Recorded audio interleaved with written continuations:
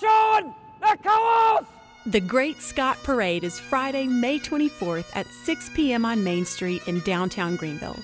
Then join us at the Greenville Scottish Games on Saturday, May 25th at Furman University to see pipers, drummers, border collies, athletes tossing telephone poles and big rocks, Celtic music, and a special military salute. Bring the kids and your friends because everyone is Scottish at the Games.